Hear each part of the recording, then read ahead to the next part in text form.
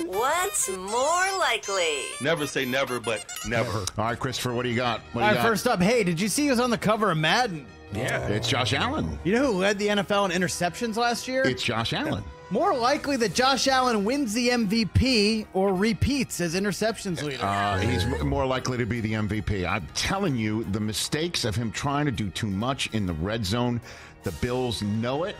They identified it. Allen knows it. He has identified it himself. I think he will be better at it just because he is better at everything. Every year he's come back to the Bills, which is every year. And Dalton Kincaid and that running game that they they have gotten a, battering ram in Latavius Murray, and they have gotten a battering ram in Damien Harris.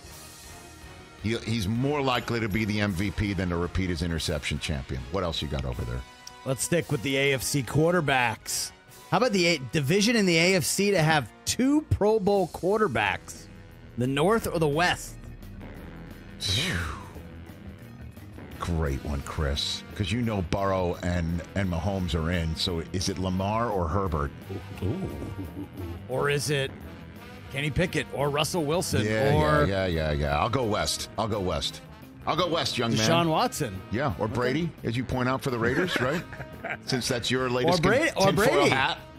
Yeah, I'll go West. He's still not retired. I'll go West. I, I, I'm, I, you know, I'm beginning to, I'm beginning to coalesce around the Chargers as having a better year.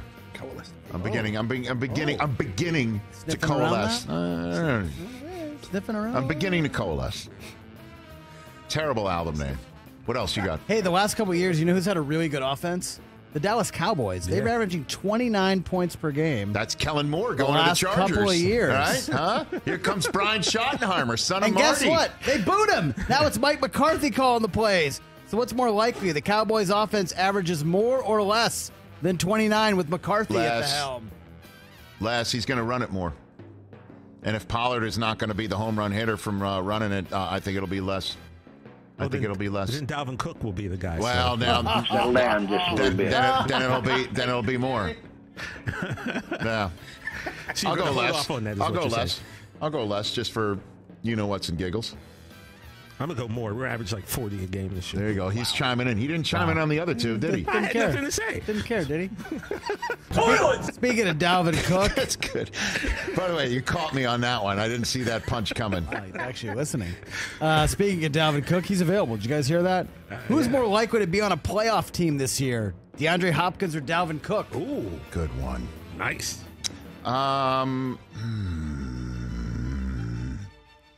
I'll go. Uh, uh, I mean, if- they're not on their teams yet. So what am I? How, what, what am I basing it on? Just you're guessing. This is lo- this is like honestly like we're playing war. Like Well, uh, we- you have we no idea what cards coming out of the deck. We know the teams that are interested. No, we don't.